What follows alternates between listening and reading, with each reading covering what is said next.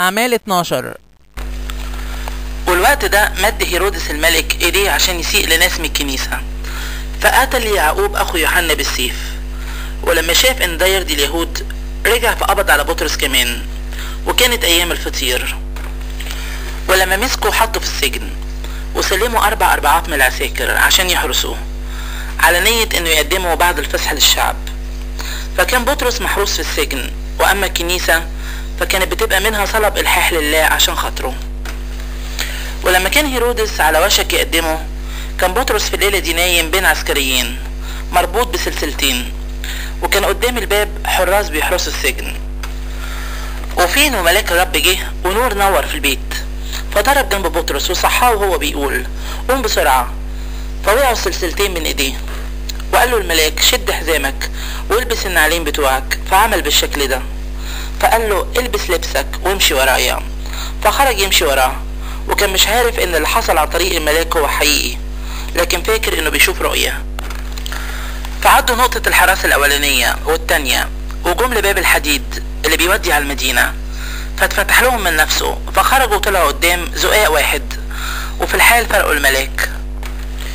فقال بطرس أما رجع لنفسه دلوقتي عرفت وتأكدت إن الرب بعت ملاكه وأنقذني من إيد هيرودس ومن كل اللي مستنيه شعب اليهود. بعدين جه وهو متنبه لبيت مريم أم يوحنا اللي لقبه مرقس مكان مكان ناس كتير متجمعين وهم بيصلوا. فلما خبط بطرس باب الطرقة جت خدامة اسمها رودا عشان تسمع. فلما عرفت صوت بطرس ما فتحتش الباب من الفرح لكن جريت على جوه وبلغت إن بطرس واقف قدام الباب. فقالوا لها انت بتخطرفي. وأما هي فكانت بتأكد إن هو كده. فقالوا ده الملاك بتاعه. وأما بطرس فقعد يخبط فلما فتحوا وشافوه اندهشوا فشاور لهم بإيده عشان يسكتوا وكلمهم إزاي خرجوا الرب من السجن وقال بلغوا يعقوب والإخوة بده. بعدين خرج وراح لمكان تاني. فلما طلع النهار حصلت لخبطة مش قليلة بين العساكر. يا ترى إيه اللي حصل لبطرس؟ وأما هيرودس فلما طلبوا ما لقاهوش حقق مع الحراس وأمر يتجروا للقتل. بعدين نزل من اليهودية القيصرية وقعد هناك.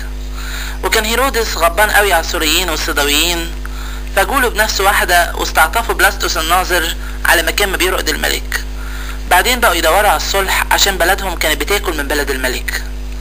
ففي يوم معين لبس هيرودس اللبس الملوكي وقعد على كرسي الملك وقعد يكلمهم.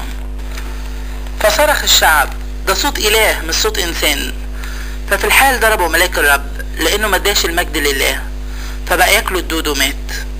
وأما كلمة الله فكانت بتكبر وتزيد. ورجع برنابا وشاول من أورشليم بعد ما كملوا الخدمة وخدوا معاهم يوحنا اللي اللقب بتاعه مرقس